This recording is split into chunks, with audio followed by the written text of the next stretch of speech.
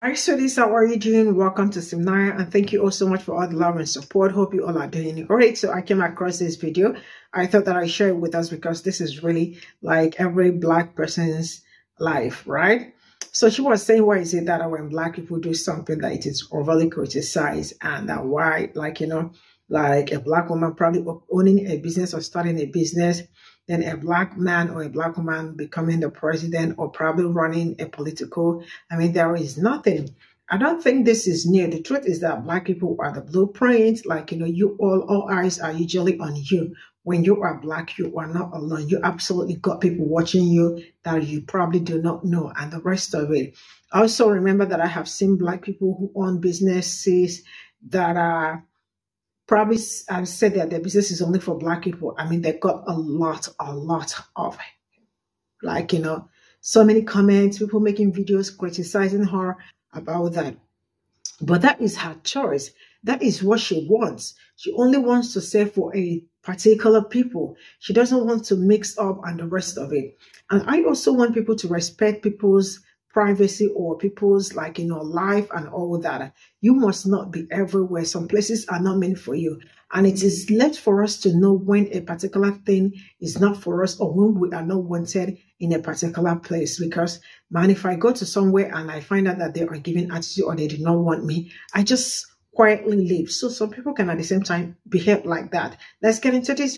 Why is it every time that black people do something it's overly criticized like owning a business or running for president of the United States. Every time black people try to do something and become successful at it, all of a sudden everybody, including our own people, turn into some super moral detective investigator. Digging deep into their history, just trying to find something wrong. An example Kamala's running for president and all of a sudden you know every action she's made since her birth till today. You can give me date, times, and quotes of everything she said. Half y'all should be wrong. And y'all say, look, she supports Israel. What is she going to do about Gaza? Meanwhile, for you to find all of the information on her, you use Google, which gives money to Israel. Meanwhile, 10 minutes before, you order some shit from Amazon, which sends money to Israel. You was just at Walmart shopping the other day.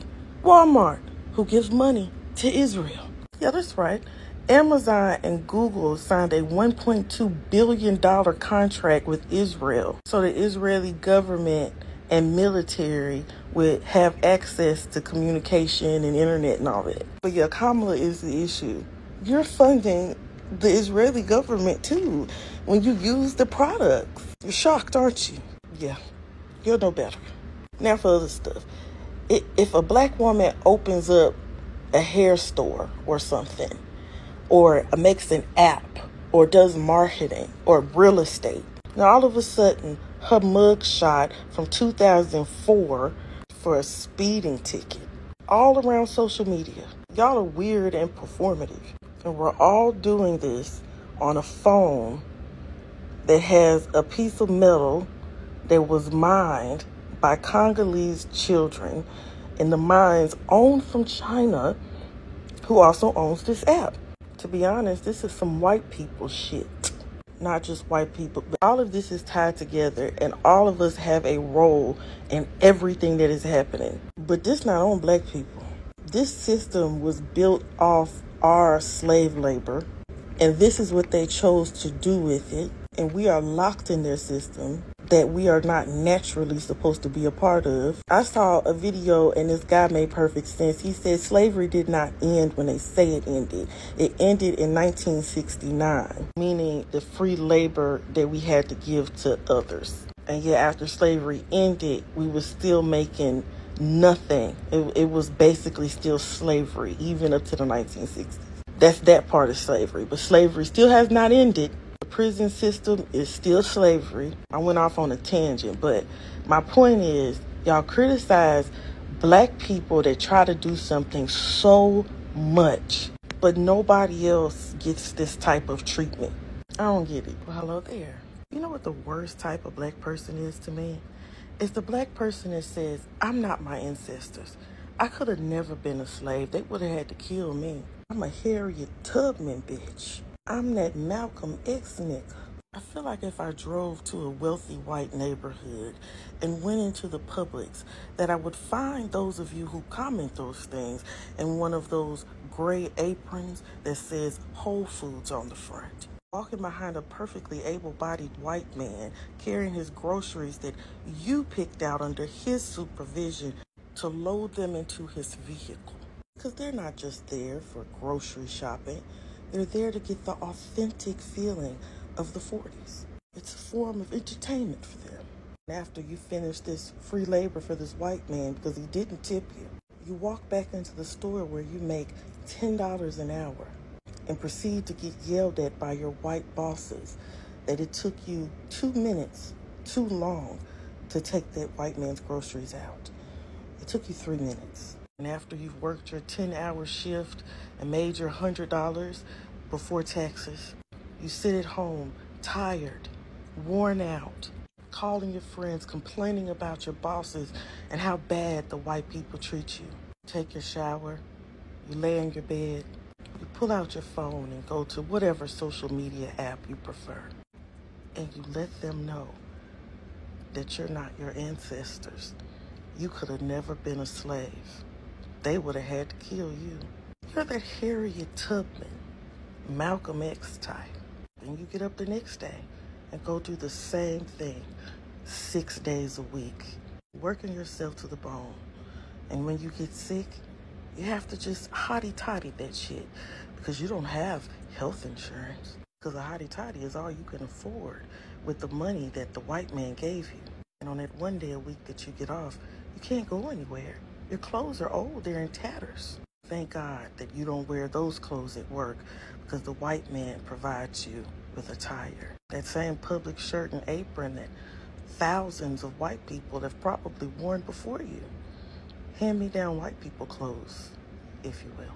At one time, on the only break that you get during the day at work, your 15 minute lunch break, you rush and call your friend, hey friend, guess what just happened? My white woman boss just screamed at me, called me the N word, and said I'm just as lazy as they say about my people.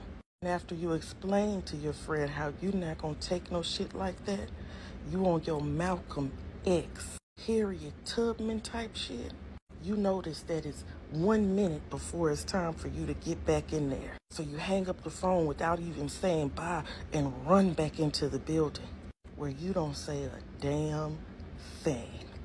Not only could you be a slave, you are one. 10 out of fucking 10. This is all I got from this video, 10 out of 10, sincerely speaking. Now, this is not, she's not lying. I have seen a lot of people that say that uh, they are not their ancestors. But so who are you? What are you? The truth is that everybody is an extension of his or her ancestor, whether you like it or not, whether you believe it or not. Now, some of us are always very quick, right? To not want to say anything or not want to associate with the ancestors or not want to associate, associate with some certain things, right? But you all are very, very much like, you know, overly ready to labor for other people. I mean, she did not lie. And then coming from where she said that uh, black people are always like, there is nothing black people will do that. I mean, every time black people do something, it's all overly criticized. Uh, I don't think that it's new. It's been there. I mean, when you start a business and you say this business is just probably only for black people or this product is, you know, it's a problem starting the business is a problem. I have also remembered that there is a young black woman who started a business, a jewelry business. I mean, it's only for black women. I mean, she, there is nothing they did not call her online.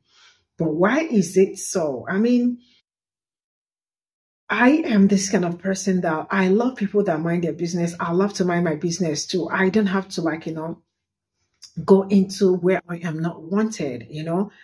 And other people should at the same time learn something like this that you must not always be at a particular place at a particular time, right? There are some places that are for you. There are some places that are not for you. So it is left for you to know where you are supposed to be and where you are not supposed to be. It is not like people do not want you in their midst or something, but it is people wanting their own space. So that business, I mean, the lady that got the business, there is nothing they did not call her and all that You know, the truth is that uh, they already see black people as a blueprint and the rest of it. So, and everybody's eyes are on you. I mean, even when you are coughing and you don't know, I mean, if you are black, you are not alone. I don't know if you are not always alone. There must be people around looking for a way to know what is going on around you. So I think this is never ever going to end because I do not see it ending anytime soon, right? Everybody wants to be in the business. Everybody, everybody wants to be in your business. Everybody wants to know what you are doing. But uh, I am of the opinion opinion. I am of the opinion that uh, you all can let people be. You do not have to over police because I see it like over policing or policing somebody, right? You know, somebody cannot do anything. Somebody cannot leave without you people having something to say over it. Yeah, so I switching. So see you all in my next video. Bye for now.